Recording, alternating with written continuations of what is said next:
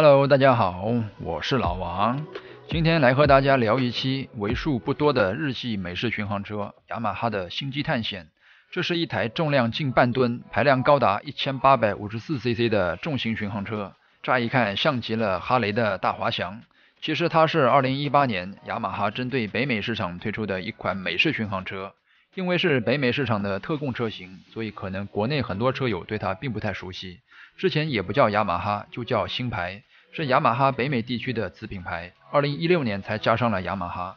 星际探险的前身是皇家探险，研制初衷就是想在美式巡航领域分一杯羹。上世纪八十年代，大型豪华旅行摩托车开始兴起，很多车企都试图抢占市场。彼时的本田精毅 GL 幺幺零零已经发展到第二代。于是，雅马哈在1983年推出了首款巡航车——皇家探险。这款车搭载了一台水冷70度 V4 发动机，排量达到 1198cc，比精毅还多了一百一十三 cc。不甘落后的本田于1984年又推出了升级版精毅 GL1200，搭载了一台排量更大、响应更好的 1182cc 水冷对四发动机。面对本田的新动作，雅马哈也没有闲着。在一九八六年推出了新一代皇家探险，将排量扩大了一千二百九十八 cc。在这台暴躁 V 四发动机的加持下，在五千转时就可以爆发一百一十二牛米的最大扭矩。另外，悬挂系统也再次升级，用上了防俯冲的电控空气悬挂，轴距加长至一千六百一十毫米，再配以沙发般的座椅。第二代皇家探险上市以后非常受欢迎，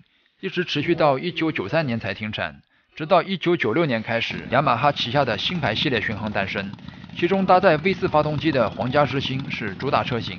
目标直指北美市场，与当时本田的影子、铃木的入侵者、川崎的火神，还有美国本土老大哈雷展开了激烈的争斗。1999年，为了争夺豪华旅行车市场，雅马哈推出了新一代皇家之星探险，在动力方面搭载的仍是 V4 发动机，但排量扩大到了 1340cc。由于精心布局，无论从左看还是从右看，这台 V4 都像是 V2 发动机。只有当拉高转速时，才能暴露 V4 发动机的真实身份。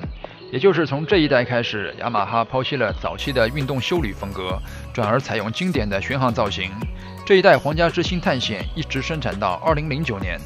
直到二零一八年，雅马哈历经五年打造，新一代旗舰巡航星际探险问世。它放弃了之前一直使用的 V4 发动机，雅马哈为它重新打造出了一台动力更强、电控更丰富的 1854cc 48度微型双缸发动机，在2250转时就能爆发170牛米的最大扭矩。尽管失重高达437公斤，但有了这颗蛮牛般的心脏，驱动它是小菜一碟。将 V4 换成 V2 发动机后，雅马哈让自己的美式巡航血统更纯粹了一些。如今再放眼美式巡航车圈，昔日美国本土哈雷、印第安与胜利的三国演义，随着胜利的退市，如今只剩下两强相争。日系四杰中的传奇与铃木，旗下的火神与林烟大道，一个已停产多年，另一个小众到连铃木自己都懒得理会。本田旗下的大精翼 GL 幺八零零，虽然还在延续豪华旅行车的血脉，但改款瘦身后的精翼更多的是倾向运动休旅的风格，已经脱离了美式巡航车的路线。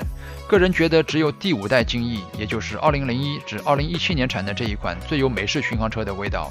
现如今，日系四界中也只剩下雅马哈的星际探险还在撑着美式巡航车这杆大旗，至于能撑多久，还是未知数。